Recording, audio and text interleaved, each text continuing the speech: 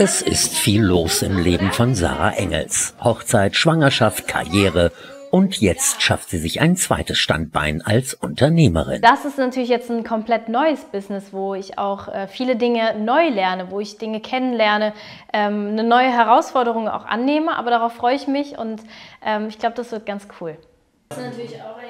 Sarah ist Teil des Teams von Mia und Ben, einem Food-Unternehmen, das mit seinen pflanzlichen Kindersnacks jetzt den deutschen Markt erobern will.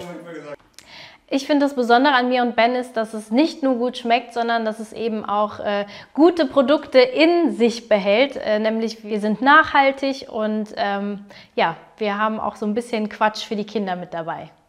Quatsch für die Kinder gab es auch beim Fotoshooting. Und natürlich durften sie auch schon die neuen Obstjoghurtsorten ausprobieren. Als Kind wäre Sarah da vielleicht nicht ganz so begeistert gewesen. Ich habe als Kind äh, tatsächlich am liebsten Süßigkeiten gegessen. Ich glaube, alle Kinder essen gerne Süßigkeiten.